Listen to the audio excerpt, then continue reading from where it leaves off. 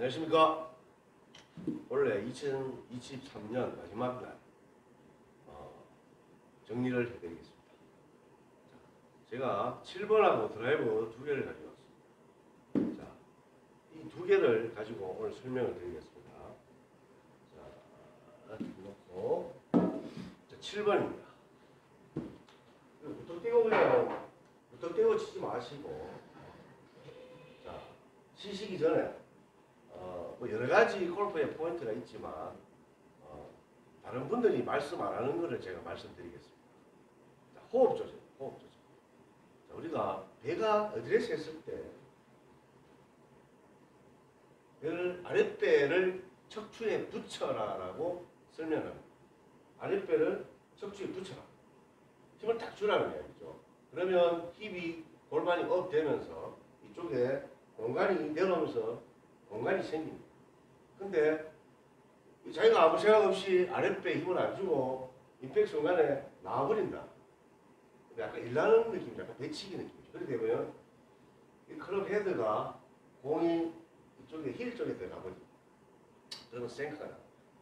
자, 그러면 딱 준비했을 때 공을 약간 클럽 헤드 공을 약간 끝에 이렇게 대도 됩니다. 왜?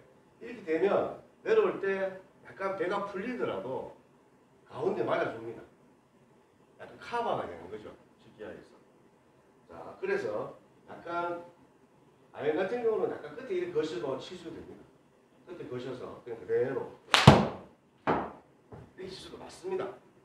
맞게 되어 있습니다. 자, 다음 드라이버.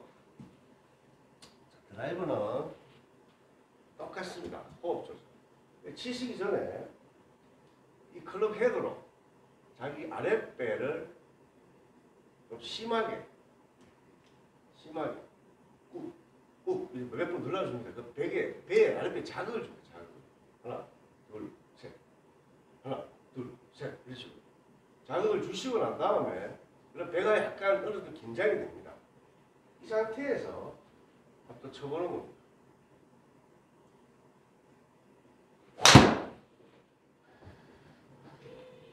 하면 다른 교수가들이 말씀 안 하시는 부분 놓치는 부분이 많습니다. 우리 배가 배가 나오면 뭐 저도 약간 뭐 술배가 나왔지만 배가 나오면 내려올 때 배가 긴장이 안 되면 채도 같이 밀리게 돼 있습니다. 그럼 저항도가 떨어집니다. 항상 치시기 전에 자가훈련법 그렇게 해도록 배를 좀 심하게 막 한다고 해서 뭐 이래 나오면 안 되겠죠.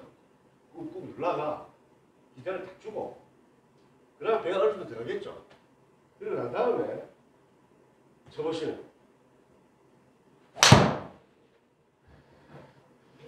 자 이렇게 해서 어, 아랫배 긴장을 좀 해서 쳐보시면 어, 여기 공간이 생기면서 그립에 때로는 손에 공간이 생기면서 좀 더 정확하고 자연스러운 스윙을 하실 수가 있겠습니다.